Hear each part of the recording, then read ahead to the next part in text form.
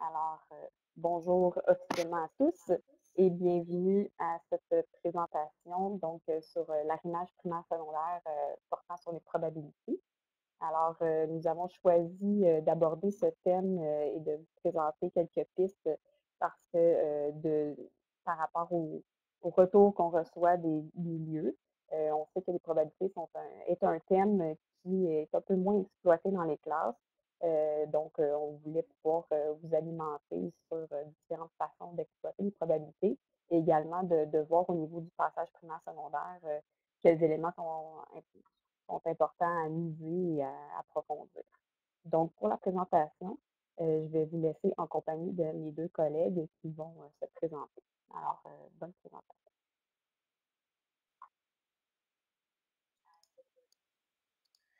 Tout d'abord, bonjour. Mon nom est Raymond Nolin. Je suis enseignant primaire actuellement en prêt de service au ministère de l'Éducation pour le programme de mathématiques du primaire et j'ai un intérêt marqué pour la formation continue des enseignantes et des enseignants. Bonjour à tous. Alors, de mes 15 ans d'expérience, il y en a 14 que j'ai euh, eu toujours une portion de tâches en première secondaire. Donc, pour moi, l'importance euh, de l'arrimage primaire-secondaire est vraiment capitale. Donc, mes élèves arrivent avec beaucoup de bagages en classe et euh, je travaille beaucoup, là, tu sais beaucoup de choses, mais peux-tu m'expliquer pourquoi ça fonctionne? Donc, j'aborde toujours mes élèves euh, sous l'angle de la compréhension pour chacun des concepts présentés en classe. On ne fera pas le tour euh, de les 48 participants. Toutefois, pour orienter un petit peu euh, notre propos, on aimerait avoir un petit peu d'informations sur vous. Donc, on vous demande de prendre l'étampe euh, notée par un crochet, puis d'aller apposer, en fait, parmi les catégories suivantes, juste pour nous aider à savoir un petit peu à qui s'adresser. C'est toujours difficile quand on est toute seule dans un cubicule d'être dynamique et de dire, OK, je m'adresse à qui? Donc, je comprends qu'on est beaucoup dans la section haute et conseiller pédagogique, salutations particulières à mes collègues enseignants au secondaire. Donc, ça nous donne un bon aperçu de notre auditoire. Un grand merci à vous. Alors, le plan de la présentation.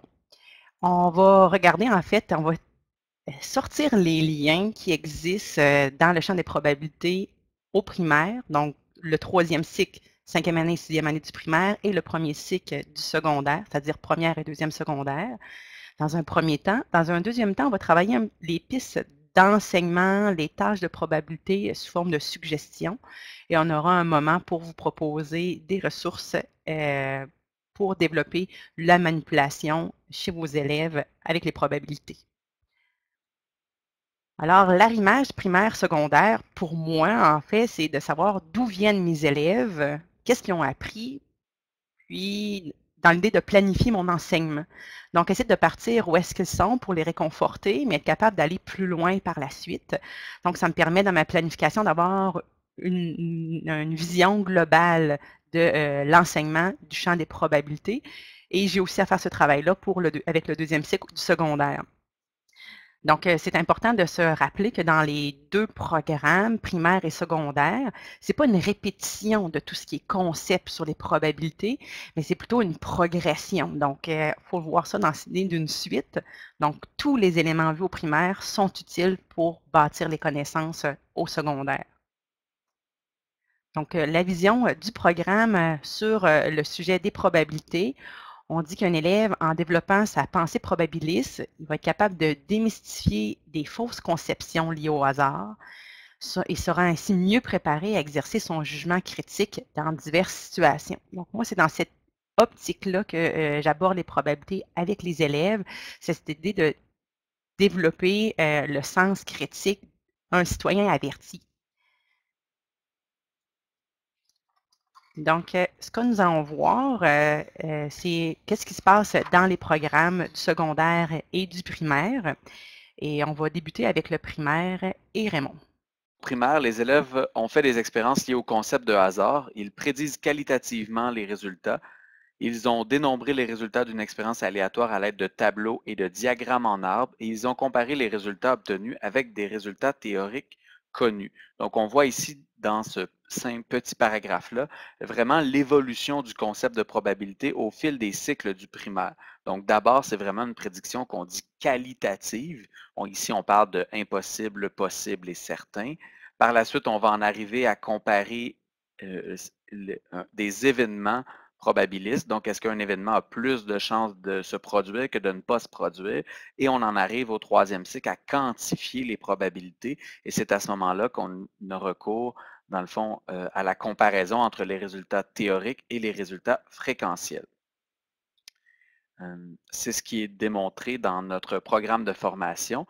Ici, on a les savoirs essentiels liés à la probabilité au primaire et c'est ce qu'on observe. Donc, des expérimentations d'activités liées au hasard dans lesquelles on amène les élèves à prédire les résultats à l'aide de, dénombrement de résultats possibles d'une expérience aléatoire simple.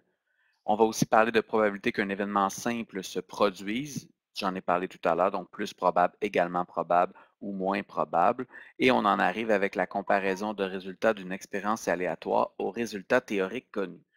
Donc ici, on, attire votre attention sur le dernier picot qui nous précise qu'on doit aussi travailler la simulation euh, avec ou sans l'aide de l'ordinateur. Donc, on fera un lien avec ça dans les différentes activités qu'on vous proposera tout à l'heure.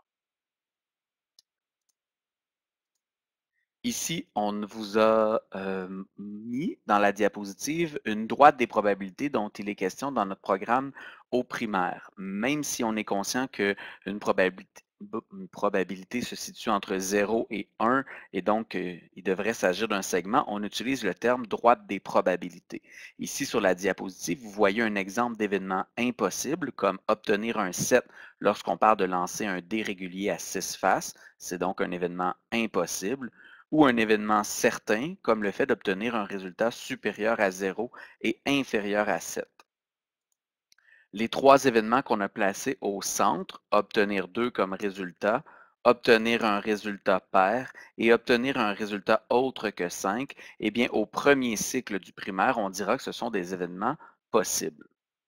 Lorsqu'on regarde au deuxième cycle, on introduira le vocabulaire moins probable, également probable et plus probable.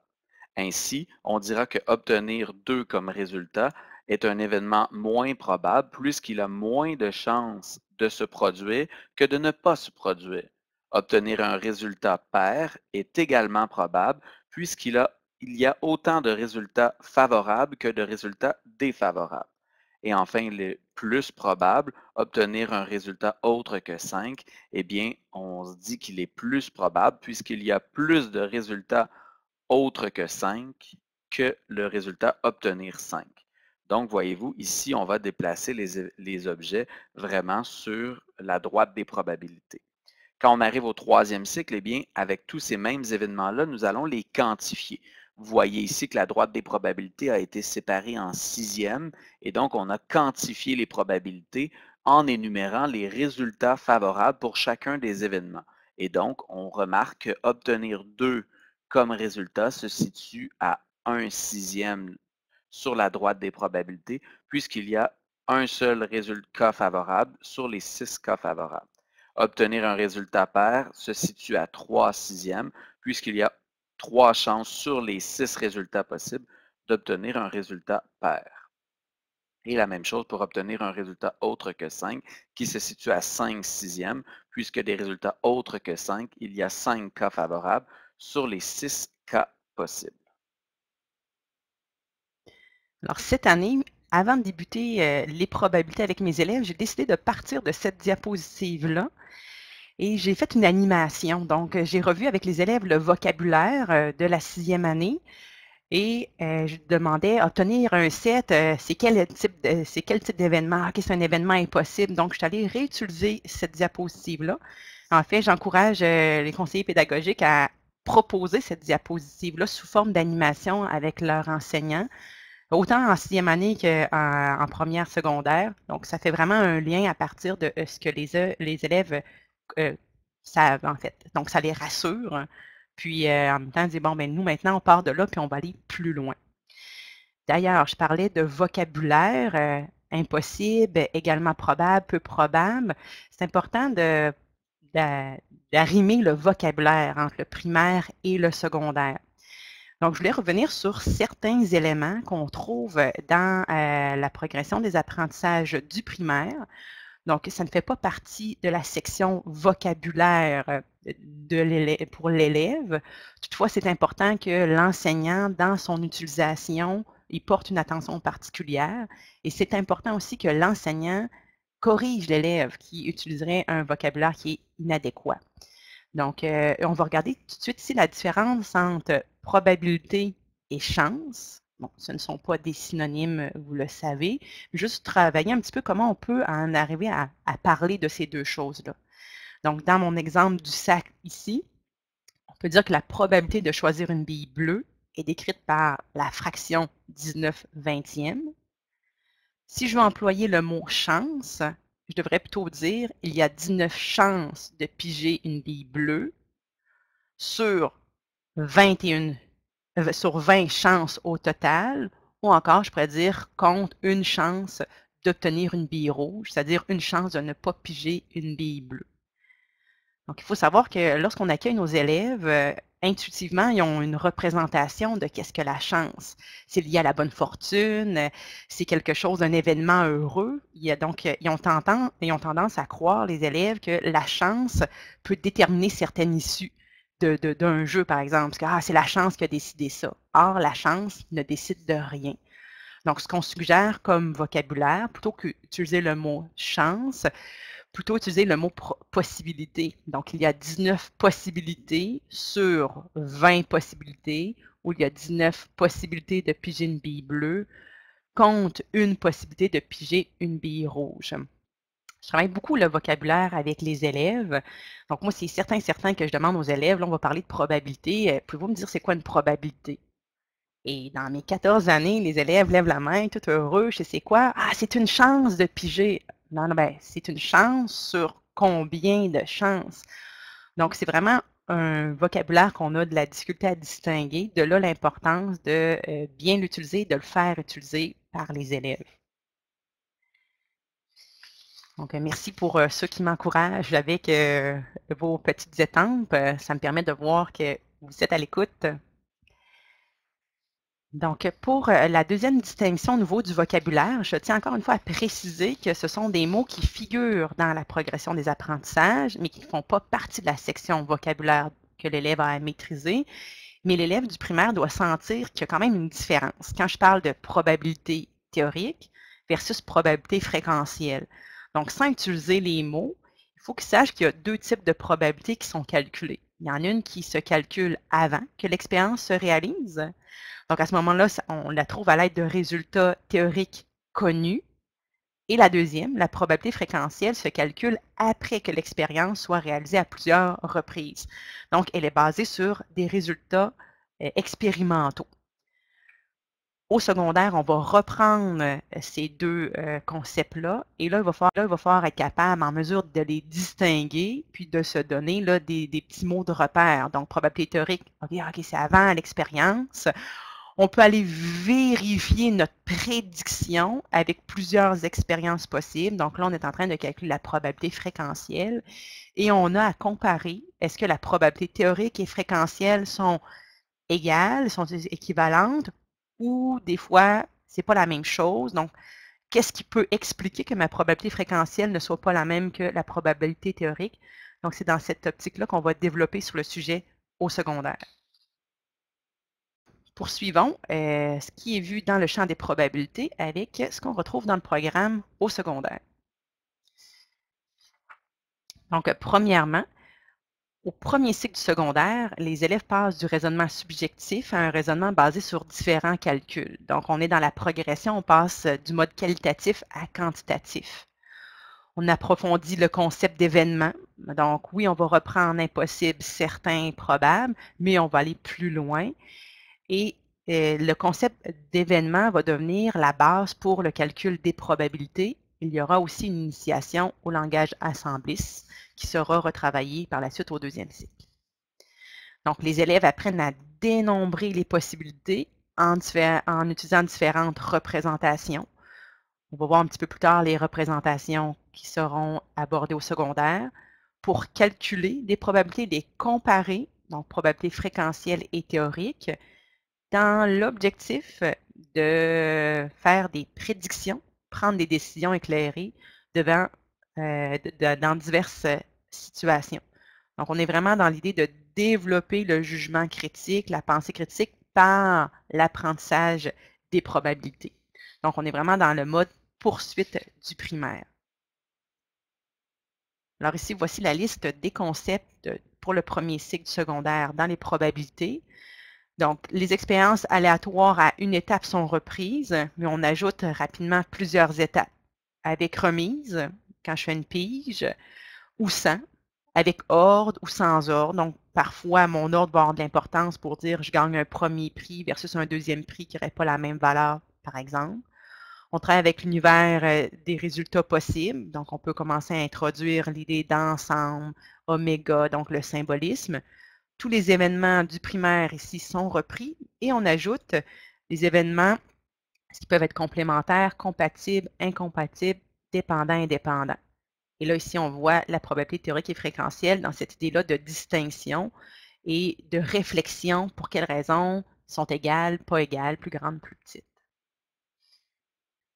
Alors, dans les processus, euh, on trouve le traitement de données tirées d'expériences aléatoires. Donc, quand on parle de dénombrement possible, on va prendre divers modèles de représentation, que ce soit l'arbre des possibilités, qui va aussi avoir l'arbre des probabilités. On parle de réseau, de la grille, de schéma. Donc, quand on travaille les différents modes de représentation, c'est important aussi d'avoir la réflexion sur quel mode est le plus efficace dans une situation donnée puis, c'est quoi les limites de certains modes aussi? Et on calcule la probabilité euh, des événements. Donc, ça fait le tour pour euh, les notions, euh, concepts, processus vus au premier cycle du secondaire. Donc, avant d'aborder la prochaine portion qui est des grandes idées présentes dans le programme pour développer la compétence du raisonnement probabiliste, mais aussi de la résolution de problèmes en général chez les élèves. Je me demandais s'il y avait euh, des petites questions. Donc, encore une fois. En ce qui concerne le langage de comparaison de probabilité, on demande est-ce toujours concernant la probabilité de se réaliser versus de ne pas se réaliser ou pour comparer deux événements? En fait, c'est qu'on se rend compte qu'on va faire les deux graduellement euh, au cours du primaire. Donc, au deuxième cycle du primaire, déjà, on a l'introduction de euh, comparer euh, la probabilité au fait de se produire versus de ne pas se produire. Puis au troisième cycle, avec la quantification des probabilités, bien là, on va pouvoir plus facilement les comparer entre eux. Mais déjà au deuxième cycle, on peut comparer les événements entre eux en se basant non pas sur la quantification à l'aide de fractions, mais encore une fois sur le nombre d'événements, euh, le nombre de résultats favorables. Donc oui, on peut amener la probabilité à se comparer à elle-même, produire versus pas se produire, mais aussi à comparer différents événements entre eux. Alors, euh, au secondaire, dans la progression des apprentissages, on trouve euh, un libellé dans lequel on demande la participation de l'élève pour qu'il soit actif dans ses apprentissages, soit le libellé réaliser ou simuler des expériences aléatoires à une ou plusieurs étapes. Dans les éléments de méthode, on retrouve ici la vérification des prédictions. Donc, tout ce qui a été fait au primaire par les expériences pour valider ces résultats, ces prédictions, on le poursuit au secondaire et on poursuit pour être capable d'analyser des phénomènes non équiprobables, des cas de trucage. Et tout ça, c'est toujours dans l'idée de développer l'esprit critique chez les élèves. Donc, la probabilité, c'est vraiment un élément incroyable, très riche en fait pour euh, développer cet esprit critique-là et développer un citoyen euh, averti.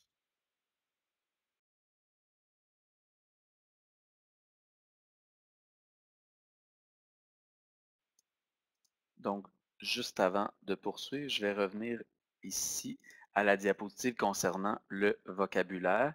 Donc, euh, ici, on dit qu'au primaire, il est important de favoriser l'apprentissage par l'exploration, qui est une occasion de varier les activités et de dynamiser les apprentissages.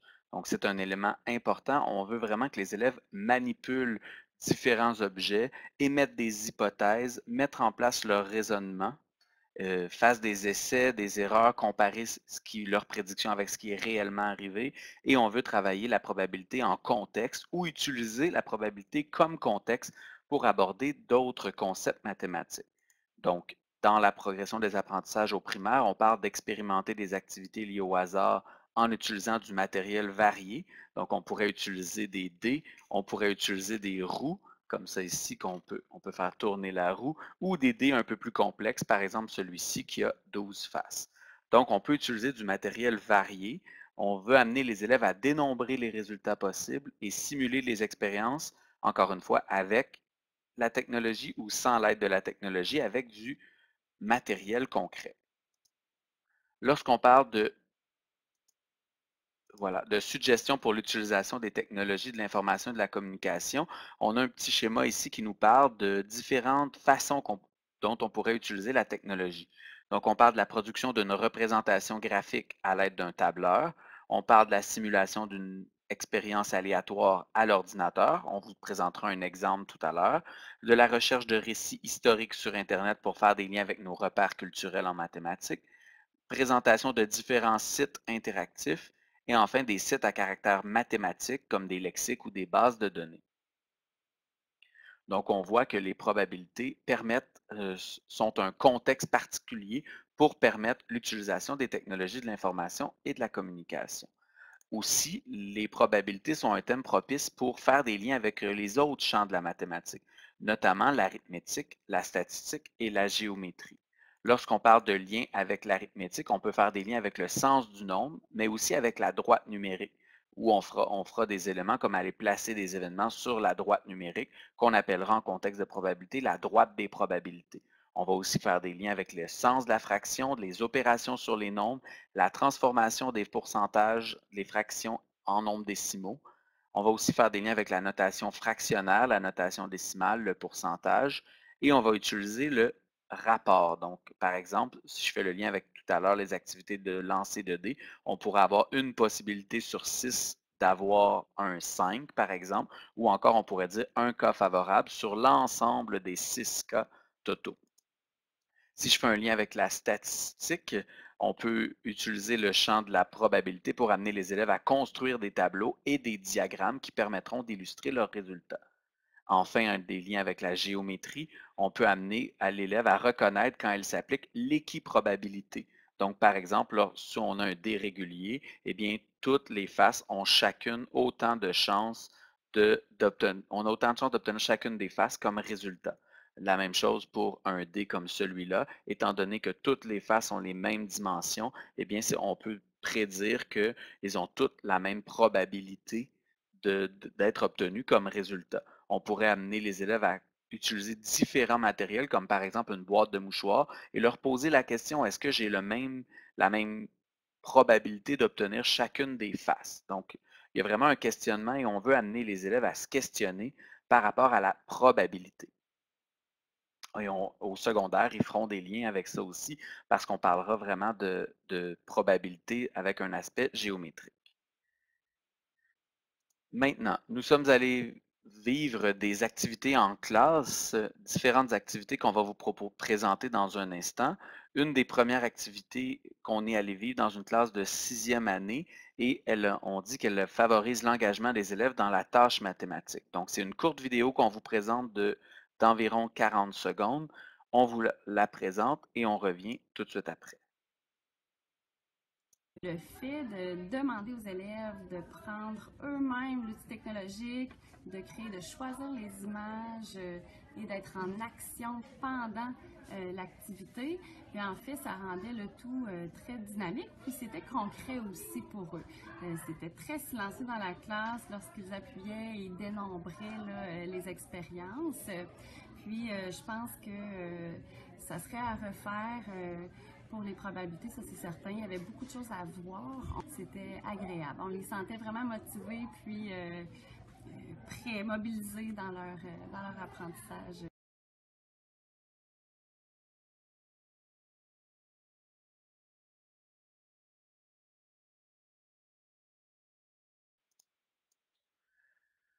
Donc, Aujourd'hui, nous allons vous présenter différentes tâches de raisonnement en probabilité et pour la plupart, on a recours à l'utilisation des technologies de l'information et de la communication.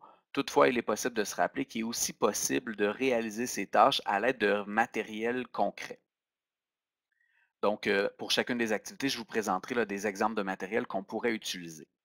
Euh, voilà. Donc, pour chacune des, différentes tâches qu'on va vous présenter aujourd'hui. Je vous présenterai à l'aide d'un partage d'écran euh, le site Internet, la référence qu'on a utilisée et par la suite, je vous présenterai rapidement euh, les activités qui sont dans la section de droite dans les documents que vous pourrez télécharger.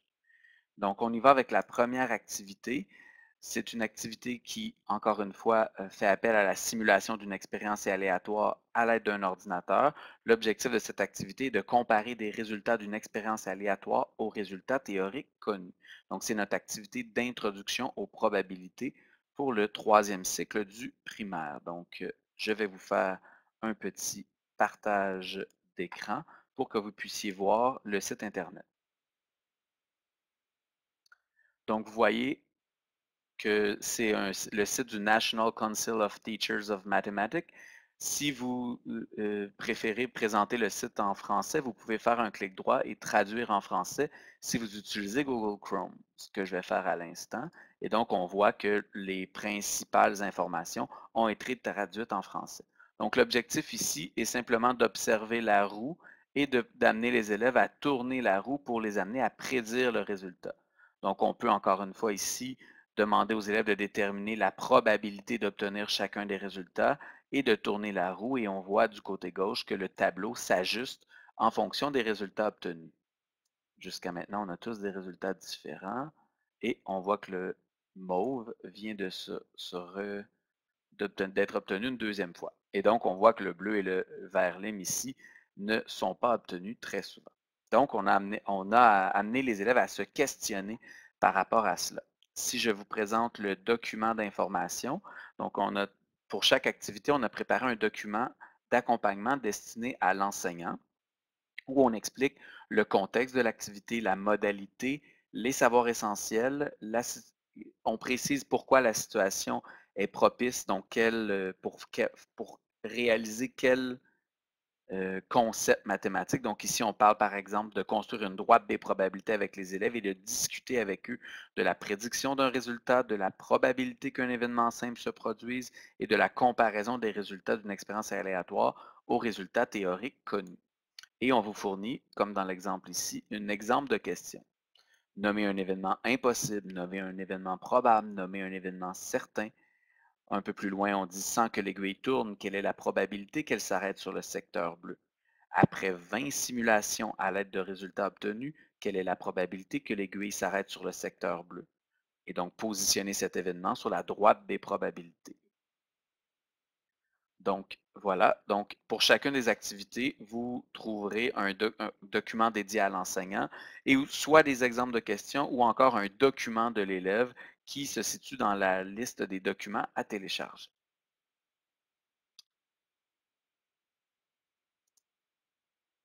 Je vous présente maintenant, donc celle-ci était l'activité d'introduction aux probabilités. Maintenant, je vais vous présenter l'activité 1 intitulée La roue chanceuse. Cette fois-ci, on amène les élèves à produire une représentation graphique à l'aide d'un tableur. Tout ça dans le but de simuler des expériences aléatoires avec l'aide de la technologie d'évaluer la probabilité qu'un événement simple se produise et de dénombrer les résultats possibles à l'aide d'une expérience aléatoire à l'aide d'un tableau. Donc, c'est cette activité-ci que la classe de Melinda, dont, on a eu le témoignage tout à l'heure, avait vécu. Donc, vous pourrez encore une fois trouver euh, les documents à télécharger dans la section de droite. Je vous fais à nouveau un petit partage d'écran.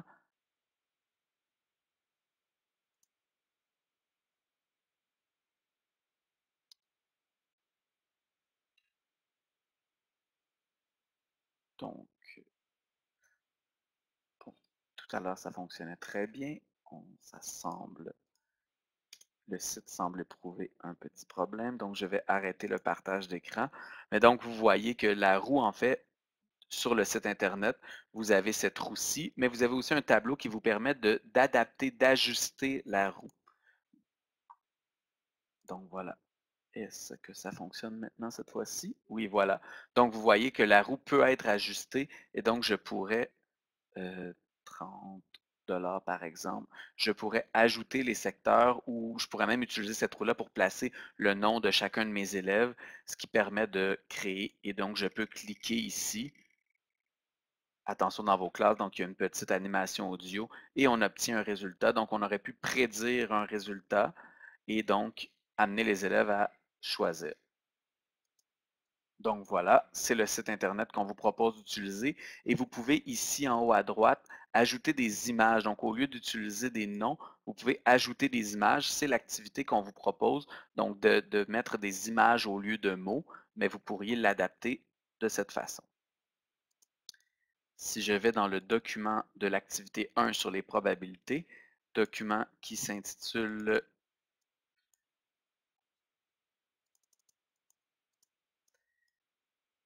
simulation d'une roue et probabilité. Encore une fois, on présente le contexte, la fabrication d'une roue virtuelle ou en papier et l'expérimentation d'activités liées au hasard.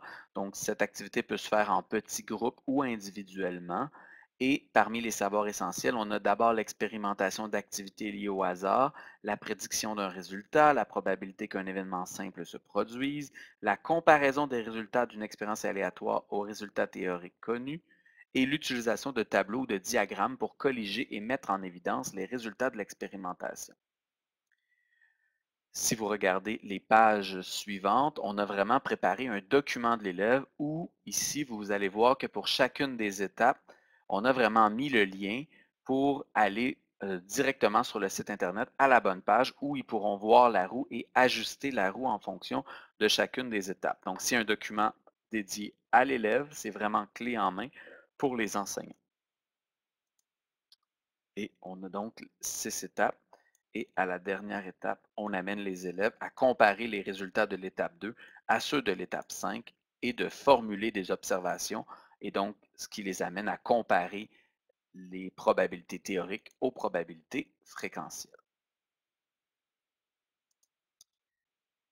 Voilà. Deuxième activité. Donc ici, juste avant, on a mis dans une diapositive quelques images qui vous permettent de voir euh, ce que les élèves ont préparé. Donc, si vous regardez l'image au centre, on a vraiment euh, des élèves qui ont introduit des images dans la roue des probabilités, alors qu'à droite, vous observez une roue plus similaire à ce qu'on vous présentait tout à l'heure, des élèves qui ont choisi d'utiliser des mots tout simplement. Pour notre deuxième activité du primaire, Donc, on parle de films d'animation. Ici, c'est un site interactif dans lequel les élèves ont à manipuler les différentes parties des robots. Donc, on les amène à dénombrer les résultats possibles d'une expérience aléatoire à l'aide d'un tableau et d'un diagramme en arbre. Donc, si je vous présente le site à l'aide d'un partage d'écran, Donc, ça fonctionne. Encore une fois, ici, le site Khan Academy est un site euh, anglophone, donc réalisé euh, par une, boîte américaine. Donc, euh, on n'a pas accès à une version française. J'ai utilisé donc le recours à la traduction française pour présenter la majorité des informations en français. Donc, on voit que l'intention ici, on fait un lien avec le film Wally et on voit ici qu'on a différentes têtes à assembler, différents bras, différents corps et donc ça permet de créer différents robots. Dans l'activité, on fera l'activité en trois parties. Tout d'abord, on amène les gens à assembler les robots ici de cette façon-là. Et donc, on voit que dans le tableau, les différents robots qu'on peut créer se, sont cochés au, au fil du temps. Donc, l'élève peut se référer au tableau pour voir quelles sont les combinaisons manquantes. Par la suite, un peu plus loin dans l'activité, on amène les élèves de la même façon à créer des robots et on voit qu'à partir d'une même tête, il y a plusieurs corps qu'on peut sélectionner. Si j'ai plusieurs têtes, je peux avoir, et on voit bien que au fil de l'activité, l'arbre des probabilités ou l'arbre des possibilités, puisqu'on n'a pas les probabilités ici, se construit au fil de l'activité. L'activité se termine l'activité qu'on vous propose, dans la démarche qu'on vous propose. Ici, on a une activité. De la même façon, on peut créer les robots, mais là, on est vraiment un peu plus près de la résolution de problème, puisqu'on a ici un budget de 300 dollars et on a associé un prix à chacune des parties du robot. Et donc, l'élève doit déterminer est-ce qu'on peut obtenir une foule de 12 robots exactement en utilisant notre budget de 300 dollars? Donc, voilà pour le site Internet qu'on a utilisé. Et de la même façon que pour les activités précédentes, on a ici donc un document qu'on a préparé pour vous, dans lequel on présente un document pour l'enseignant, en fait, dans lequel on présente le contexte, les modalités, les savoirs essentiels, et on précise qu'il s'agit d'une situation propice pour illustrer à l'aide d'un appareil technologique les résultats possibles et visualiser facilement chacune des possibilités, notamment l'arbre des possibilités. De la même façon que pour l'activité précédente, nous avons déjà prévu un euh, document pour l'élève dans lequel on l'amène directement à chacune des sections en cliquant sur le lien à chacune des étapes. Donc, clique ici pour accéder à la plateforme et ça nous amène non seulement au site Internet, mais à l'activité précisément, puisque comme vous l'avez vu tout à l'heure, dans la section de gauche, il y avait une longue liste d'activités. On y introduit certaines vidéos et tout, mais tout est en anglais. Donc, ce qui nous intéresse, nous particulièrement, ce sont les trois activités donne pour lesquels on donne le lien directement à chacune des étapes.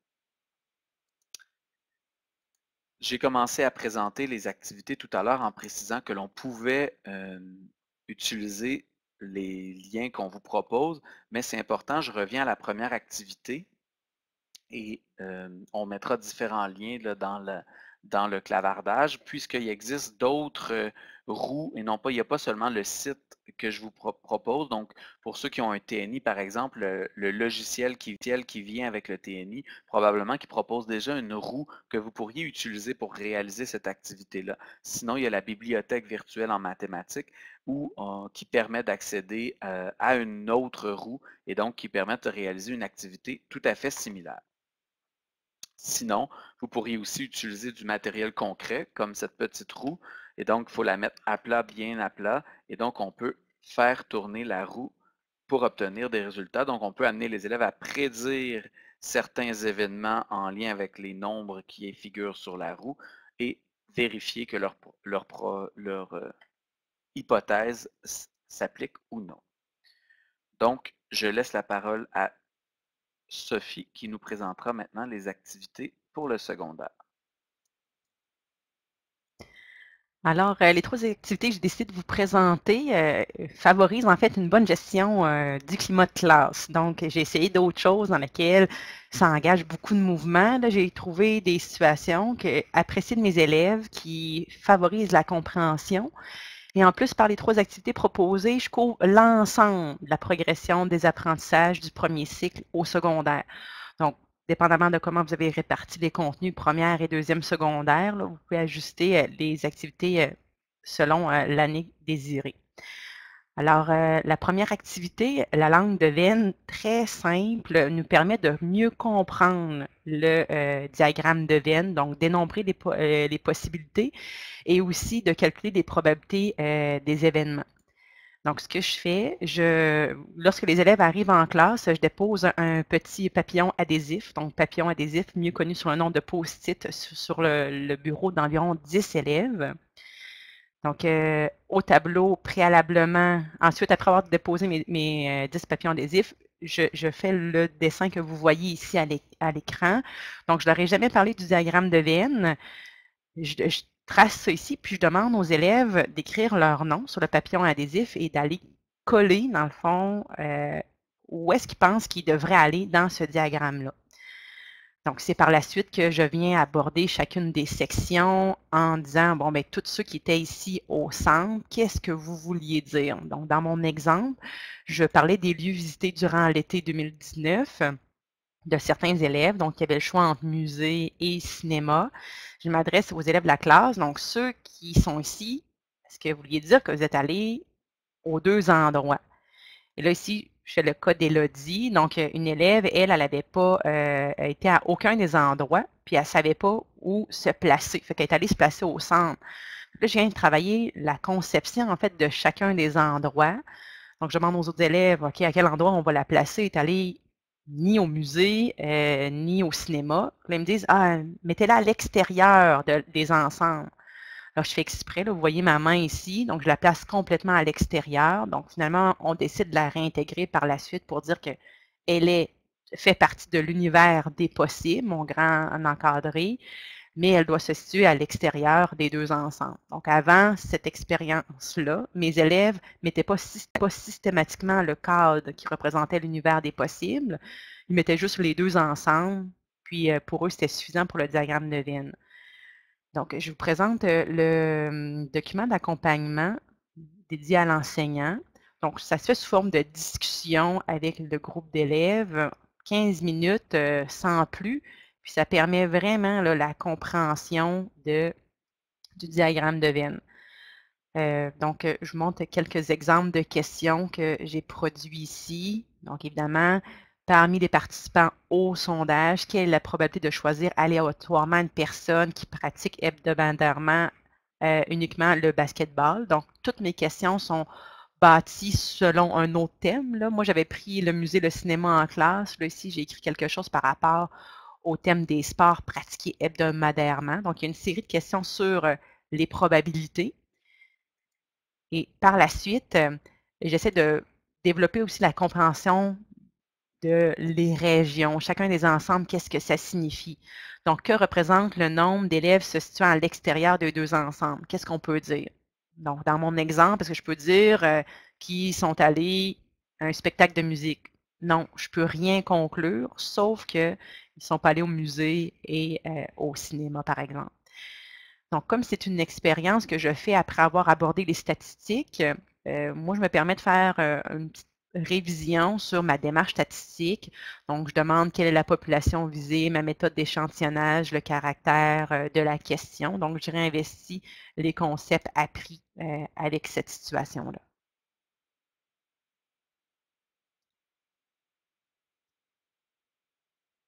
Donc, euh, ma deuxième activité, je ne sais pas s'il y en a qui la connaissent. De plus en plus, dans les formations, on voit les mathématiques en trois temps.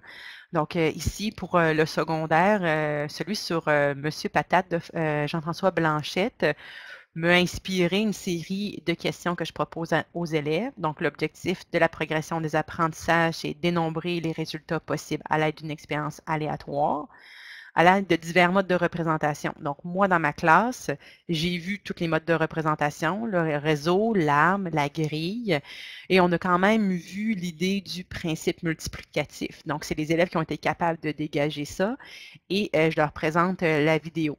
Je ne sais pas si vous pourriez peut-être me mettre une étampe euh, juste pour nous donner une information de qui a déjà vu la vidéo. Donc, juste par une manifestation. Donc, je regarde ici, petit décompte, peut-être le corps de notre auditoire. Donc, ce qu'on va faire avec Raymond, un partage d'écran, je vais juste aller, il y en a qui a visé complètement Jean-François Blanchette.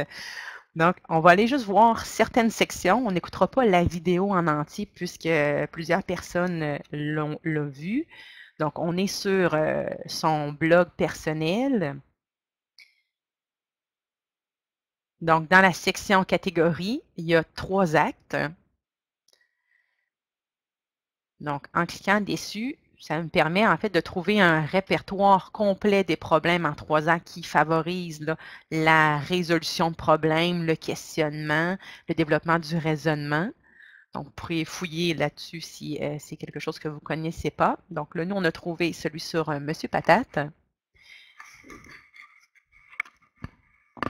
Donc, au départ, euh, les élèves, euh, je leur dis, ah, aujourd'hui, on écoute un grand film et euh, je pars la, la, vidéo.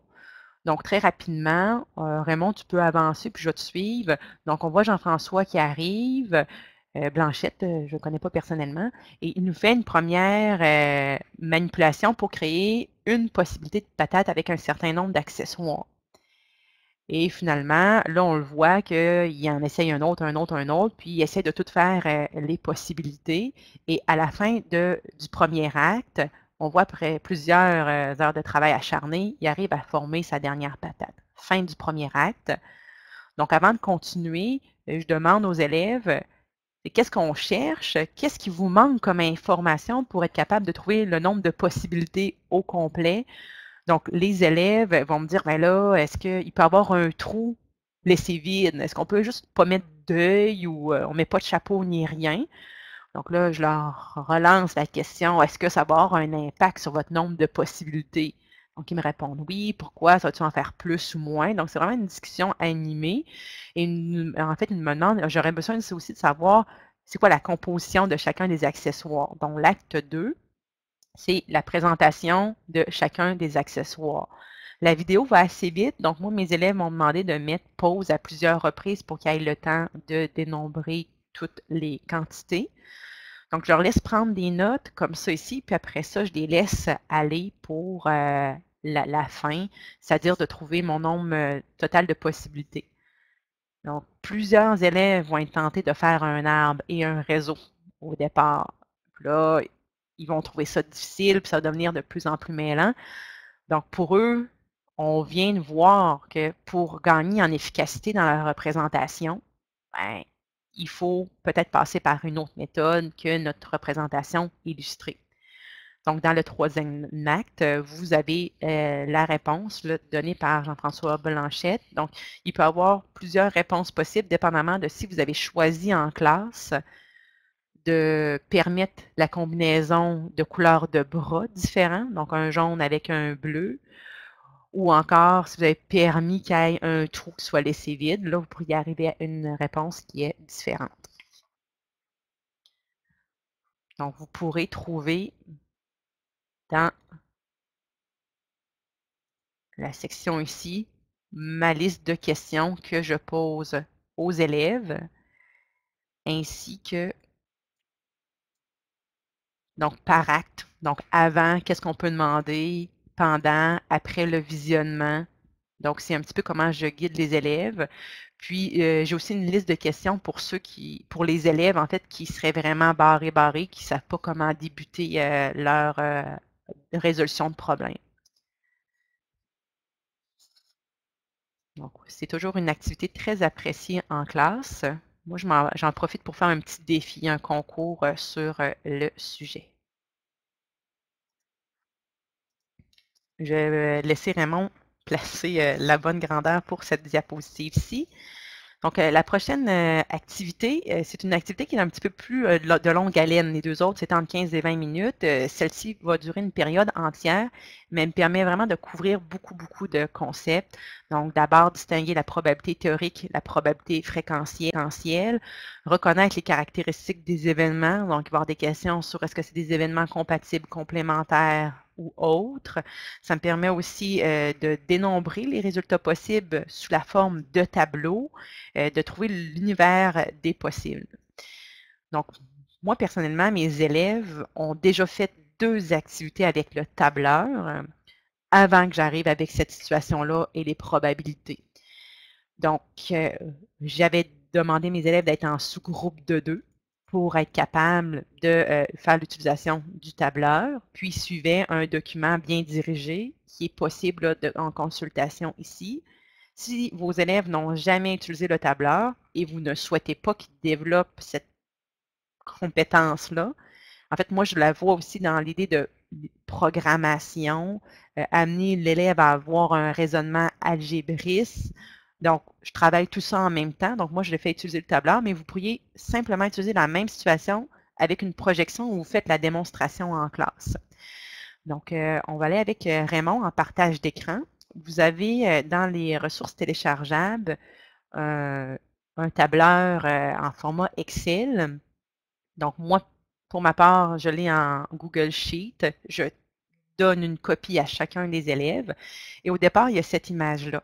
Donc, dans la section orange, il s'agit de compiler en fait les données pour la simulation d'un dé. Donc, dans la première cellule, j'ai déjà fait la programmation de aléatoire entre bornes, la commande de, pour les chiffres de 1 à 6. Donc là, on demande de répéter cette simulation-là 200 fois. Donc, Raymond fait simplement d'étirer euh, et de recopier la commande pour arriver à 200 lancers aléatoires. On pourrait faire exactement, exactement la même chose, mais tous les élèves lancent un dé à raison d'une dizaine de fois. On met tout en commun nos résultats de dés. Ensuite, dans le bas, il y a un tableau bleu, tableau des résultats. Donc, euh, Raymond ici va pouvoir aller dénombrer le nombre de fois que le 1 est apparu dans notre simulation de 200D. Donc, les commandes qui écrit nombre ci sont écrites dans mon document d'accompagnement. Donc, on met la condition si 1. Donc, mon objectif ici, ce n'est pas tant de vous euh, expliquer comment utiliser le tableur. Donc, je vous montre en survol c'est quoi le travail qui, euh, qui est fait par les élèves. Donc, à chacun des, euh, des dés, finalement, il complète le, tableau, l'élève. On est capable d'aller voir c'est quoi la quantité euh, de chacun des résultats? Et là, je demande aux élèves ensuite de calculer le total. Bon, est-ce que le total du tableau fait référence au total des simulations? Sinon, il y a une problématique. Donc, l'élève doit retourner voir dans ces conditions s'il a fait le bon changement. D'ailleurs, c'est ce que Raymond fait. Il va venir faire le changement pour nombre si dans notre ensemble, si c'est un 6, donc il y en avait 33. Et à chaque fois qu'on entre une nouvelle commande, la simulation des 200D est relancée. Donc, si on a validé, il y en a bien 200 au total.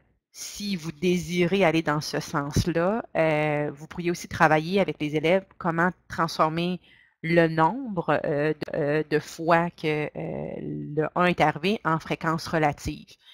Donc là, à ce moment-là, c'est un petit peu ça l'idée de penser à l'algébrée. Si l'élève fait 26 divisé par 200 fois 100, là, il va arriver à une réponse qui est vraie s'il y a 26 lancés D.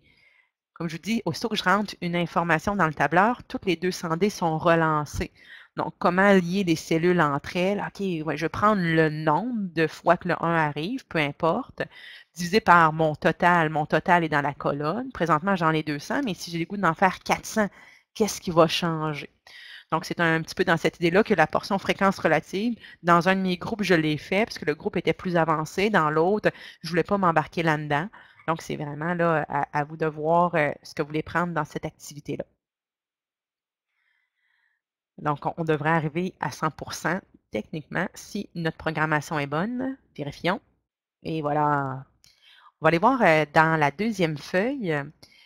Donc, pour la deuxième portion de l'activité, c'est une simulation avec 2D.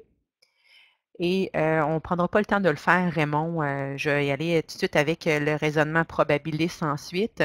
Donc, pour euh, celui-ci, on lance 2D, puis il y a des questions qui sont posées. Et à la dernière feuille, les 2D sont lancés. Je demande aux élèves de calculer la somme. Et aussitôt qu'on calcule la somme, à ce moment-là, le tableau des sommes obtenues se compile automatiquement.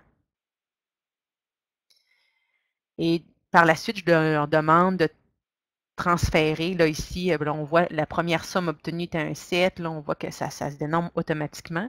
Après ça, je demande de former un graphique à partir de ceci. Donc, c'est l'occasion pour moi de revenir sur l'importance du titre, de l'identification des axes et voir une série de questions qui vont être euh, associées à tout ça. Donc là, Raymond montre en fait assez rapidement comment on peut y arriver, mais ça vous montre quand même que le travail à faire par l'élève reste quand même minime. On va écrire une commande, tout est déjà programmé, puis ça permet de réinvestir euh, d'autres concepts dans les autres champs.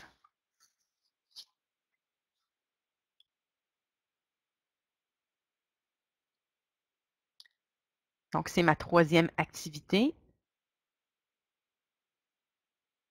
Merci beaucoup pour euh, l'activité coup de cœur. Je vais présenter le document de l'enseignant. En fait, il y a un document de l'enseignant pour vous repérer rapidement si jamais il y avait des petits bugs liés avec le tableur. J'ai écrit des questions qui ont été fréquentes dans mes classes. J'ai quand même ajusté le document avec ça, mais c'est juste des fois pour rassurer. Donc, vous avez des pistes à ce sujet. Et là, ici, je vous présente le document de l'élève.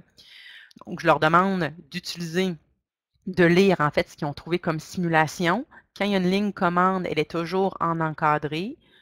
J'ai pris le temps de distinguer s'il y avait une commande en français ou en anglais, puisque dépendamment des ordinateurs, l'application est euh, en anglais ou en français. Puis par la suite, il y a une série de questions d'observation sur probabilité théorique fréquentielle, tenter d'expliquer, suggérer des choses. Dans ma situation 2, là, on va travailler sur tout ce qui est événements. Donc, est-ce que c'est des événements décrits sont indépendants ou euh, indépendants, dépendants, compatibles, incompatibles? Et à la fin, je propose une autre situation la situation 4, vraiment pour développer cette idée-là de pensée critique.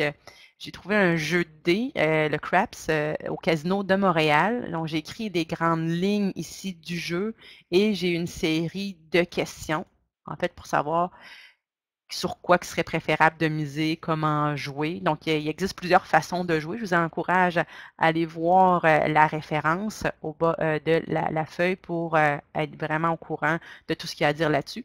Mais je voyais qu'il y avait beaucoup, beaucoup d'éléments dans lesquels l'élève pouvait développer sa pensée probabiliste dans cette situation.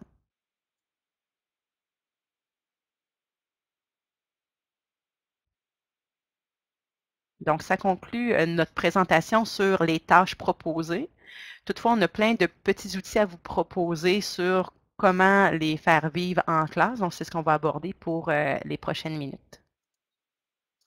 Donc, on en a parlé un peu plus tôt dans la présentation d'utiliser des objets de la vie courante pour travailler les probabilités. Donc, j'avais donné tout à l'heure l'exemple de la boîte de mouchoirs, par exemple, où chacune des faces n'aurait pas la même probabilité d'être obtenue. Donc, c'est un élément essentiel. Dans nos activités tout à l'heure, on, voyait que dans la plupart des roues qu'on vous présentait, il y avait la même probabilité d'obtenir chacun des secteurs, mais dans certaines euh, roues qu'on vous présentait sur certains sites, on voyait que, en fait, on pouvait ajuster la grandeur des secteurs pour amener les élèves à vraiment comprendre que ce n'est pas toujours des sections équivalentes ou encore une boîte de mouchoirs, on n'a pas la même probabilité d'obtenir chacune des faces de la boîte de mouchoirs. Donc, le fait d'utiliser des objets de la vie courante amène vraiment les élèves à faire des liens entre la mathématique et la présence de la mathématique dans la vie courante.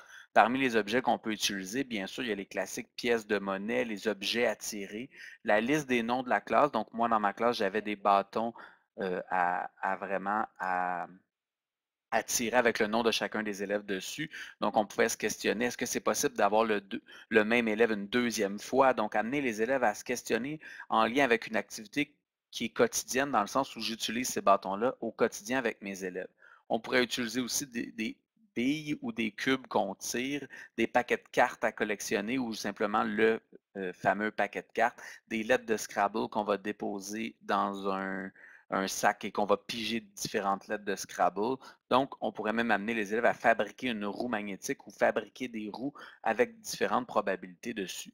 On peut aussi utiliser des objets aux propriétés géométriques particulières, comme par exemple un ensemble de cercles pour fabriquer le diagramme de Venn. Ce que je faisais moi dans ma classe, c'est que j'allais emprunter deux grands cerceaux en éducation physique et on créait le diagramme de Venn donc avec nos élèves. Ensuite, on peut utiliser d'autres objets aux propriétés géométriques comme les blocs logiques, les blocs mosaïques, des dés polyèdres comme celui-ci qui a plusieurs faces, un dé avec des côtés de différentes couleurs, donc une même couleur pourrait être répétée à plusieurs reprises.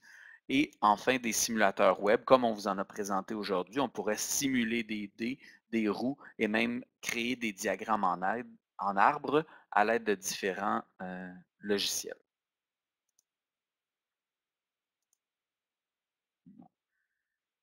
On vous a mis ici des images de différents éléments que je viens de présenter. On a même une roue ici qui est toute faite, mais on pourrait euh, la créer, cette roue-là, avec les élèves pour aller travailler nos activités liées à la probabilité.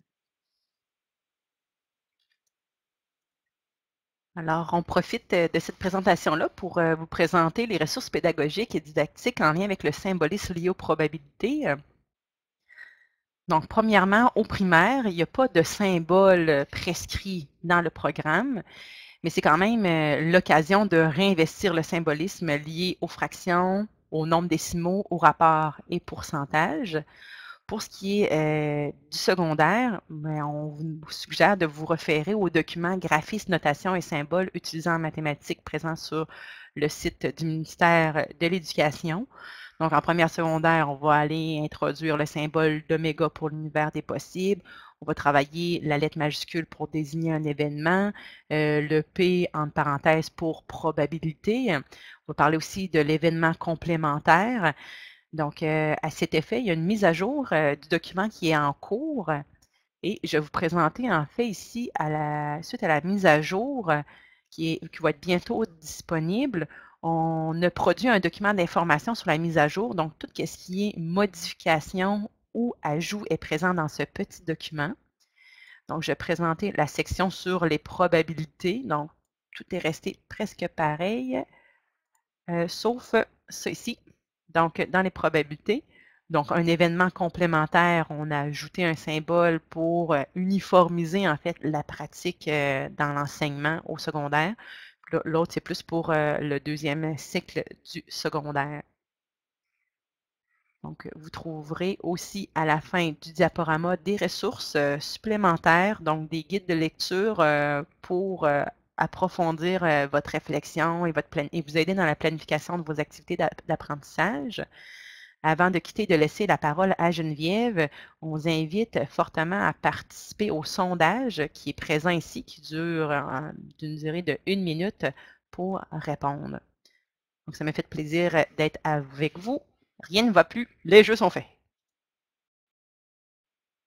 Alors, euh, je prends le micro juste euh, pour conclure. Alors, en fait, j'ai réalisé que je ne m'étais pas présentée au début de la rencontre. Donc, euh, pour ceux qui ne me connaissent pas, mon nom est Geneviève Dupré et je suis responsable des programmes de mathématiques au primaire et au secondaire au ministère. donc, ben, je remercie mes collègues pour cette présentation. Si vous avez des questions,